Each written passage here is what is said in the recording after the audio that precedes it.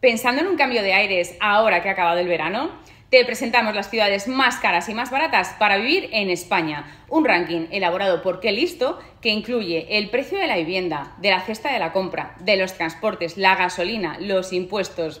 Entre las más caras, San Sebastián, Madrid, Barcelona, Palma de Mallorca y Bilbao. Entre las más baratas, Lugo, Palencia, Zamora, Ávila y Cáceres. ¿Con cuál te quedas?